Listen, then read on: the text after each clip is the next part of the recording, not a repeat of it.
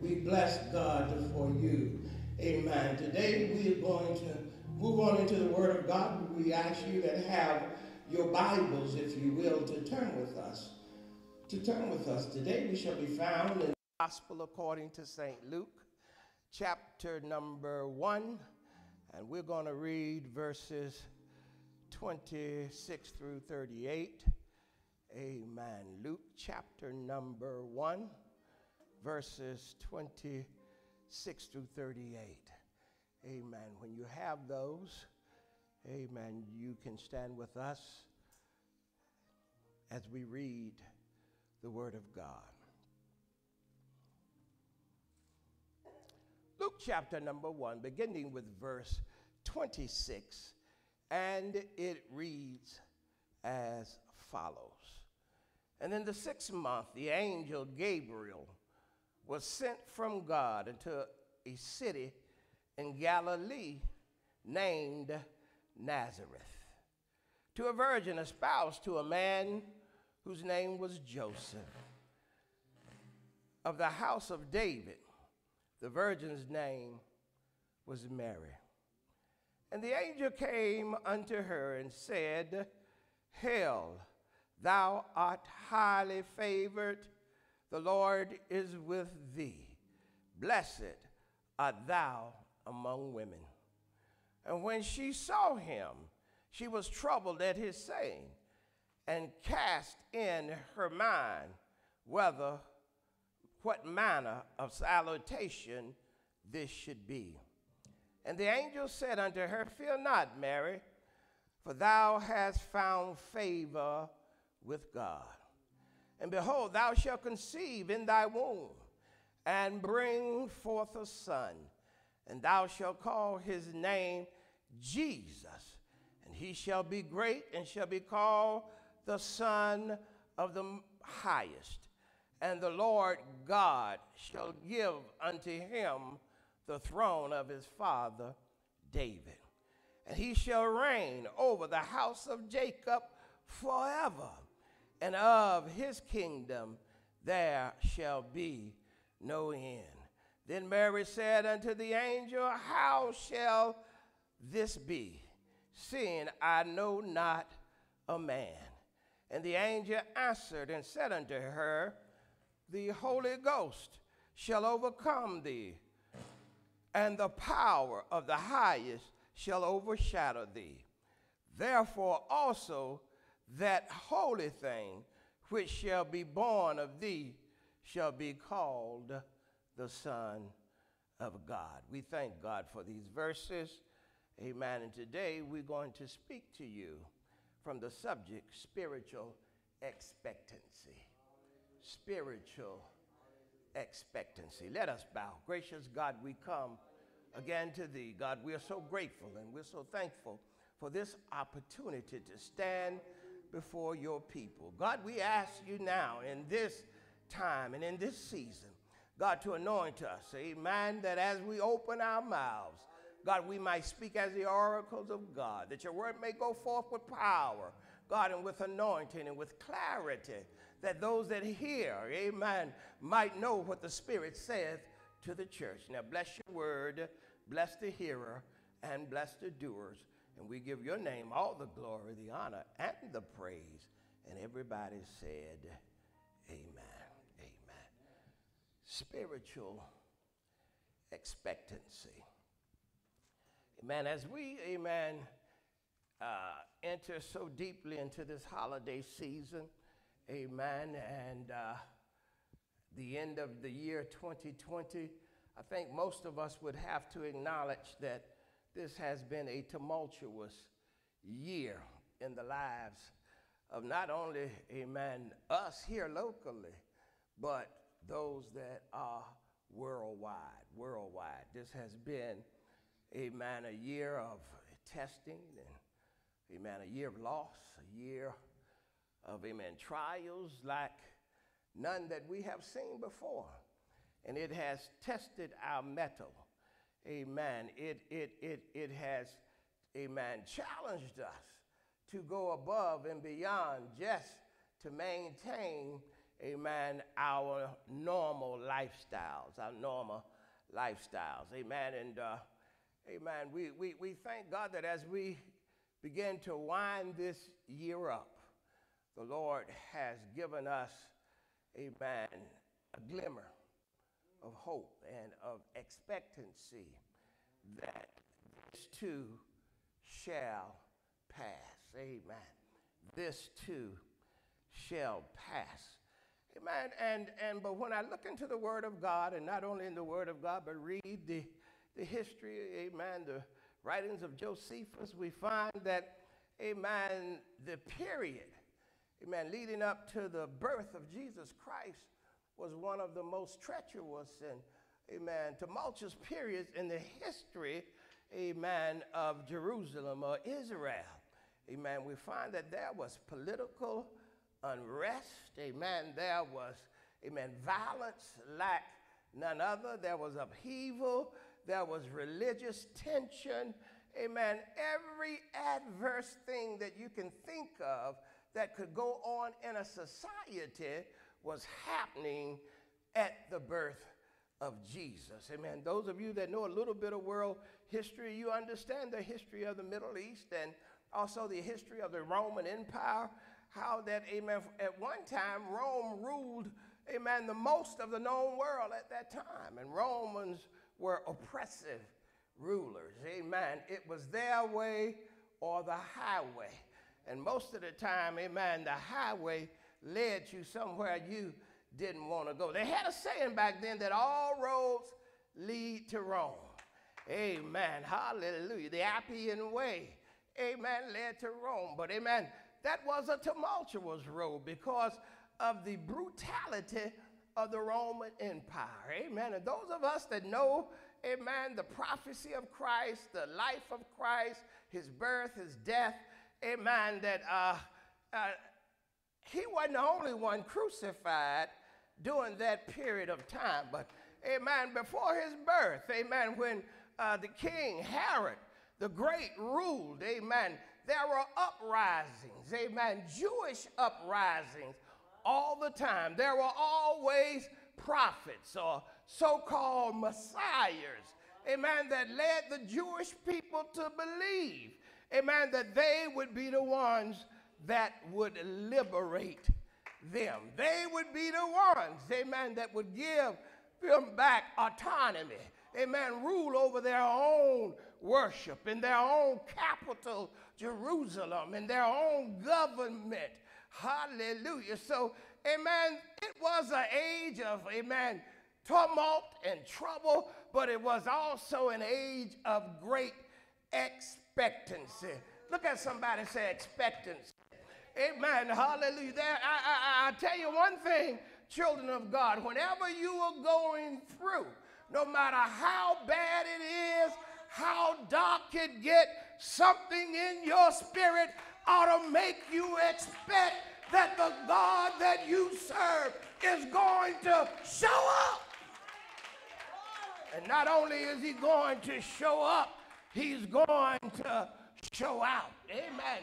Hallelujah. Amen. So, amen, there was an atmosphere, there was a spirit of expectancy. Amen. When Jesus was born, everybody was looking for something better. Looking for something better. Ah, this year, as this year ends with the Christmas season, I hope that we have a spirit of expectancy. Amen. It was about the time that Jesus died, amen, that Herod the Great, amen, Jesus was born, Herod the Great died. Amen. And he, amen, was followed by uh, his two sons. Kingdom was split between his two sons. And and what they wanted to do was to continue their father's rule. Amen. And so they were just as treacherous. they were just as evil. Amen. And they were just as destructive as Herod. Matter of fact, they kept his name. Amen. And sometimes, if you don't know exactly who you're reading about, you won't know which Herod they're talking about.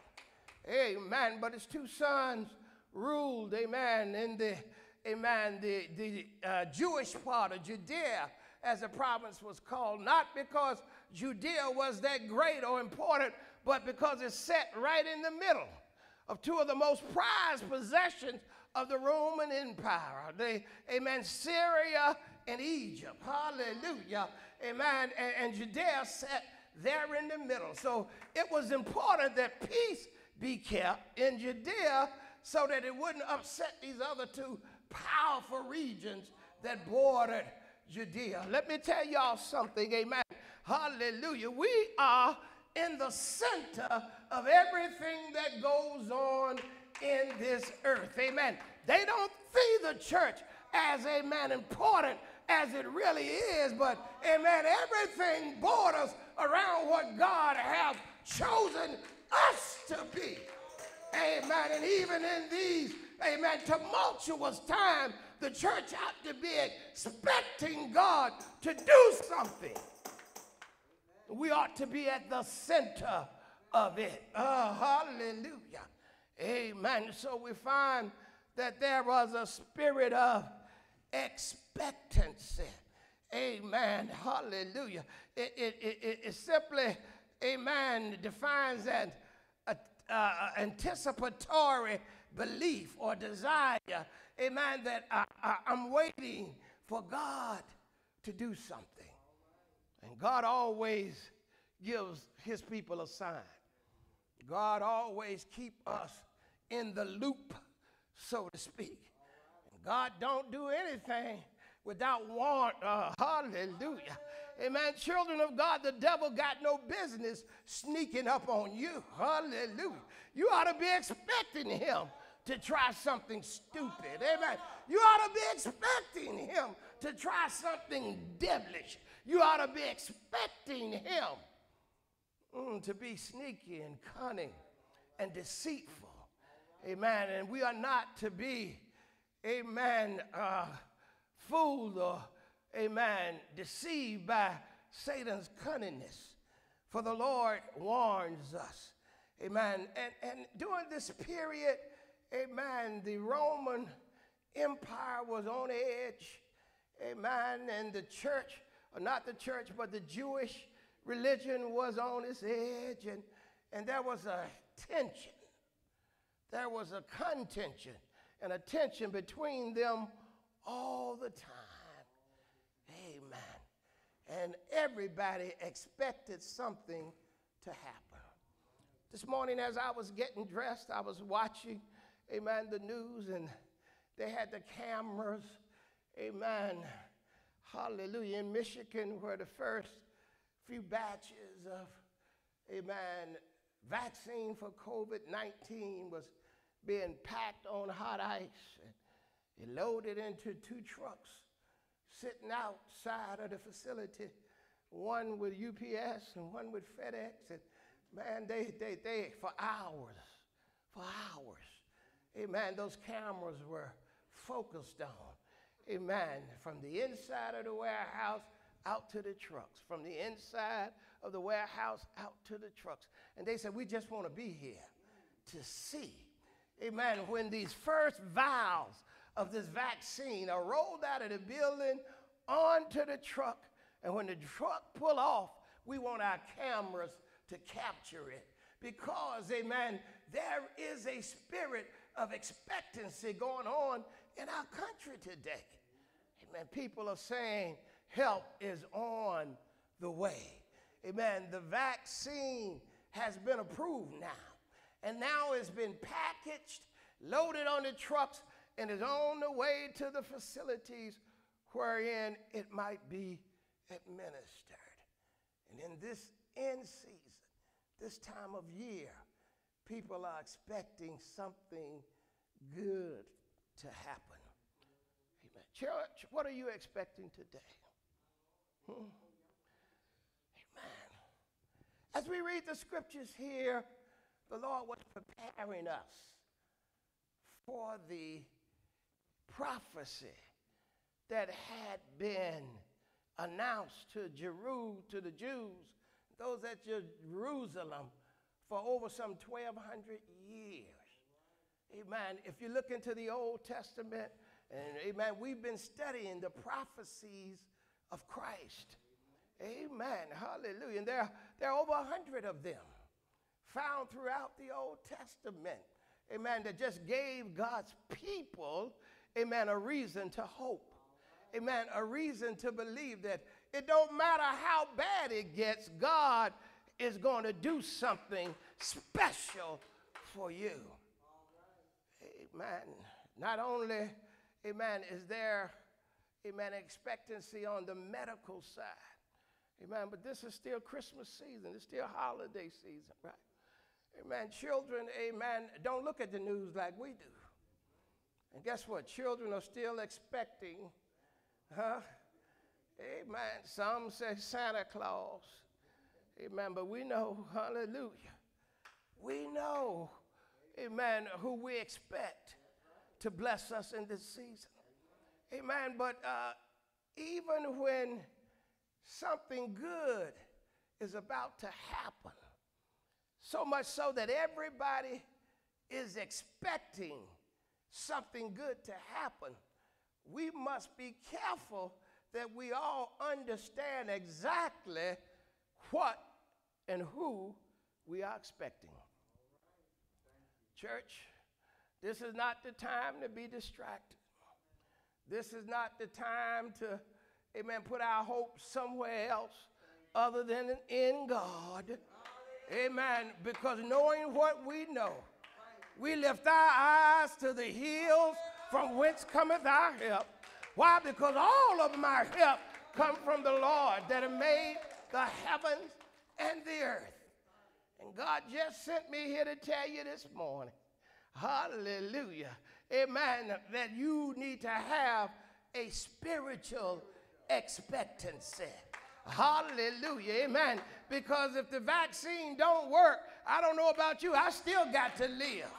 Amen. I got to choose whether I'm going to take it or not. Or y'all ain't going to help me. Amen.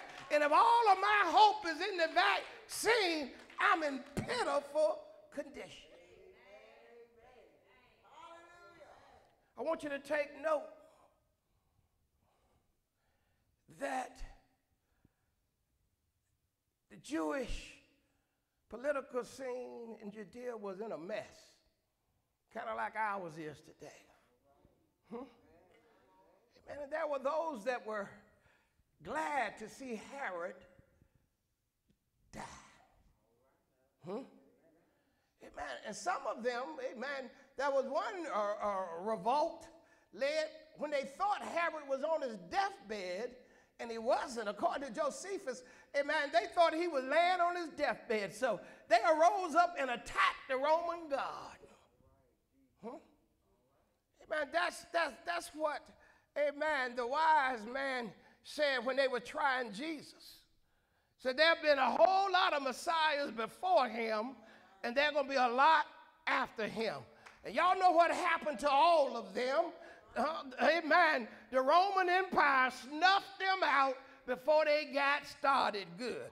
Amen. Hallelujah. And he said, Y'all just need to wait and see because if God be in it, you can't stop it. The Romans can't stop it. Amen. Nothing in the world can hinder it. But if he be not the Christ, Amen. He'll peter out on his own and he won't last. One thing about it, everybody in church don't have the same expectancy.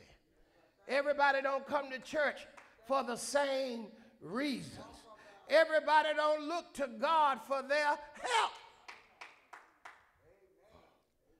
But Jesus says certain people need to know what's about to happen. Lord, have mercy. And in the Christmas story, those two people were Joseph and Mary. We read the account in Luke, amen, hallelujah, where Mary was given, amen, the heads up. amen. And if you go back and look in Matthew chapter 1, we'll find where Joseph was given the heads up.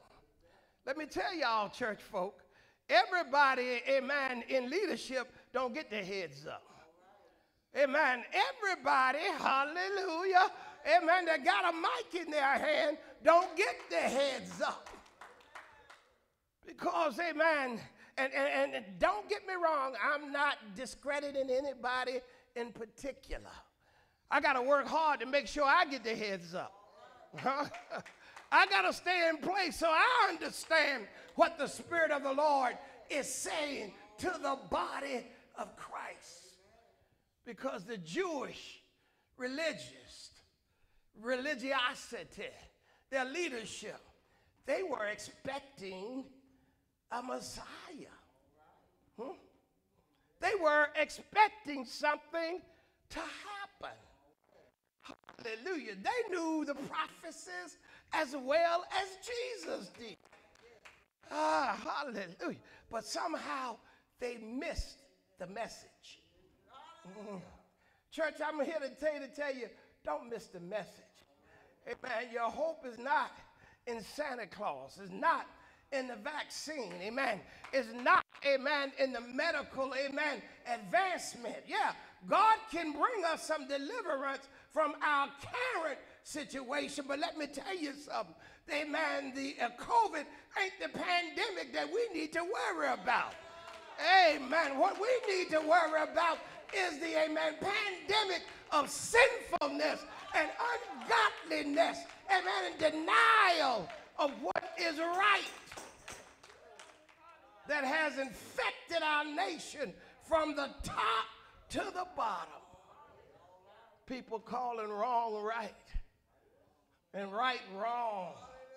Hallelujah. Amen. People claiming, amen, to advance the cause of Christ while at the same time denying the power thereof. But the Lord sent the angel Gabriel because two people had to be with this program to make it work. Hallelujah. And, and uh, somehow I was thinking that Mary might have been the first one. Lord have mercy. It looked look like he would have sent the angel to Mary first. But now, I, the order that it comes in my Bible is, amen, he went to Joseph. and he told Joseph, Fear not, fear not to take unto thee Mary, thy wife, for that thing that is conceived in her is of the Holy Ghost. Amen. She's expecting, amen, but this thing is spiritual in nature. It's not natural. Hallelujah. Look at somebody that says supernatural. Ah, hallelujah. What God wants to do for us is supernatural in nature. Hallelujah. It's above what, amen, the vaccine can do. It is above what medical science can do. Unto us a child is born. Unto us a son is given, and the government shall be on his shoulder. Ah, not Dr. Fauci, not Donald Trump, not Joe Biden, not Kamala Harris. Amen. Not Pence. Hallelujah. Amen. Not the CDC, but it's on his shoulder. Amen. Hallelujah. And and and this this promise, this thing that we're expecting, won't just help us get physical healing. Jesus. But his name shall be called Jesus. I wish I could get somebody with me just to say, Jesus. Jesus. Jesus.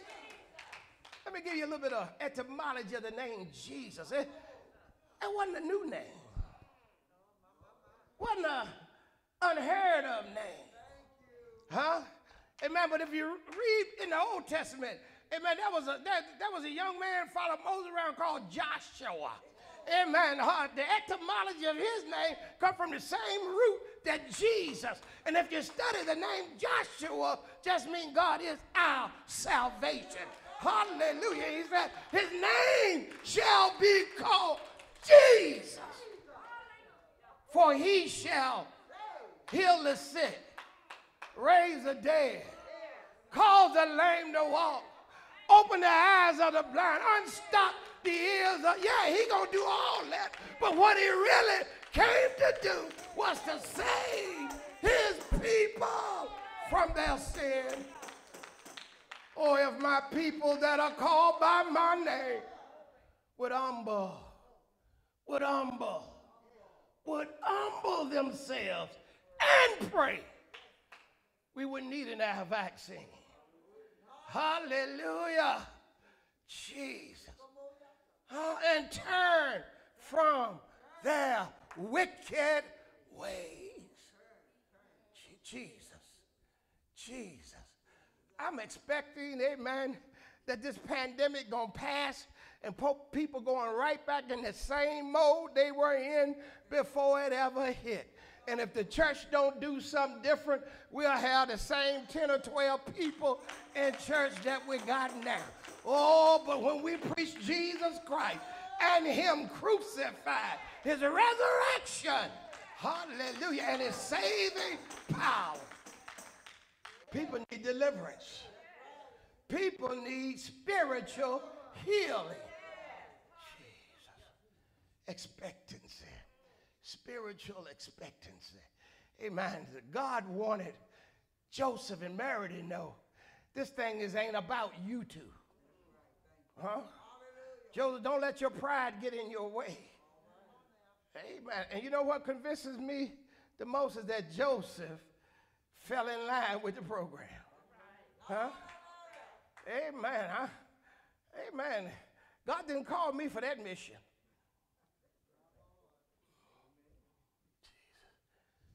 Didn't call most folk for that mission. Cause, because most people not that well connected with him. Don't have the kind of relationship with him where he can talk to you and tell you some stuff everybody else would shake their head at. Ah, Jesus. You, y'all know the problem with the world today, and, and y'all might say this, this got nothing to do with your message. I'm the father of two sons, two children, hmm? and I never had one. Amen. But I can understand where Joseph was because to expect a child is one of the proudest things a real man. Amen. I, I ain't talking about these pants legs walking around here with a body in them. Amen. That's one of the amen, greatest things a real man can experience to say, I have fathered a child. Hallelujah. Hallelujah. Jesus. Amen. Hallelujah. But if, if, if, if my wife had to come to me before we were married, amen, we hadn't been together now. And she said, Fred, I, I'm, I'm with a child. Unless the angel Gabriel had visited my room. Come on, somebody. How many ever seen an angel? Probably because you wouldn't believe what he told you anyway. amen. Unless an angel visited, amen, we would have had a tough go of it. But somehow relationship and, and, what I want to say, amen, to young folk, amen. Amen. Before you become naturally expecting, you need a relationship. Oh, Lord have mercy. He's a preacher. You had to go there, didn't you? Let me, that's part of what the problem is today. There is a disconnect in relationship. Amen. A, a woman, ah, expecting a child got so much going on in the inside. Man, she don't need to worry about what baby daddy gonna do. Oh, y'all ain't gonna help me. She don't need to be worried about, amen, hallelujah, whether or not he gonna put food on the table or offer, amen, hallelujah, amen, sustenance. Because just the expectation of what's going on in her body is enough by itself. Huh? And she need to have a relationship with baby daddy where she know I know everything gonna be all right. That's the kind of relationship Mary had with God, Lord. There was a spiritual expectation. My time is up. Lord have mercy. There was a spiritual expectation. It wasn't a natural thing. Hallelujah. It was something that was instituted and divinely propagated by God. Amen. During this season, refuge. Amen. With all of your online shopping, with all of your preparation, with all of our gift giving. Jesus. Amen. And that we will do. We will do. I, I promise you, half of y'all probably got most of your Christmas shopping done already. Amen. Huh? Amen. If you haven't, you probably don't plan to do that much. Amen. And that's a good thing. Hmm? Because we need to make sure our expectation of this season be upon that which is spiritual. Amen. And in my conclusion, I want to remind you that the Jews knew Christ was supposed to be on the way. The political climate, amen, hallelujah, should have made them acutely aware that something's got to happen here. Something's got to change. Hallelujah. Amen. But you know what they were looking for? Amen. I told you the name Jesus was a common name. Hmm? But you know what made his name different?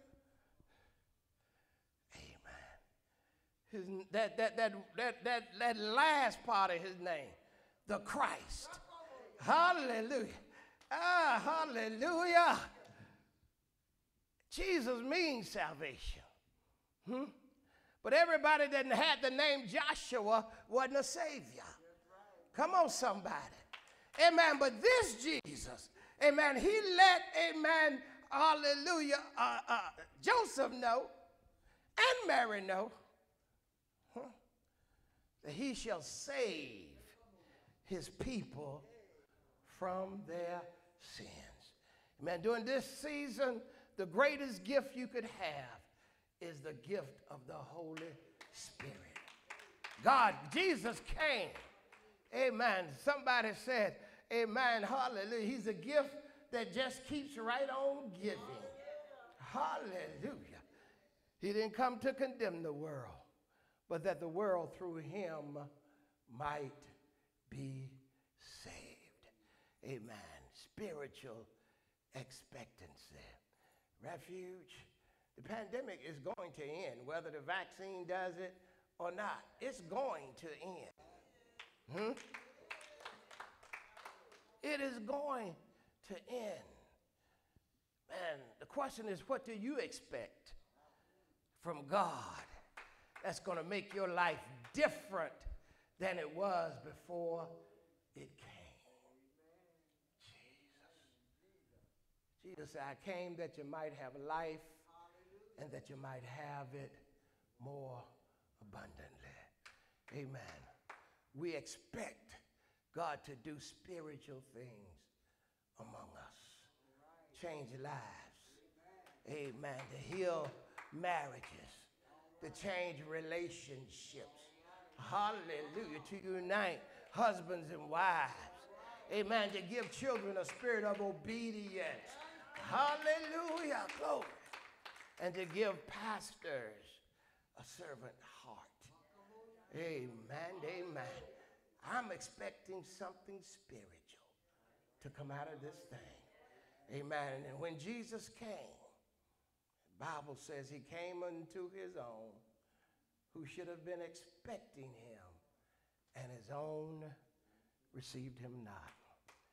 But to as many, huh, ah, that received him, to them gave he power. Power. Holy Ghost power. Adoption power. Cleansing power. Wonder working power. To them gave he power to become the sons of God. Spiritual expectancy. Amen. Hallelujah. God bless you. Have a smile upon you. Amen. We hope, amen, that somebody is looking for God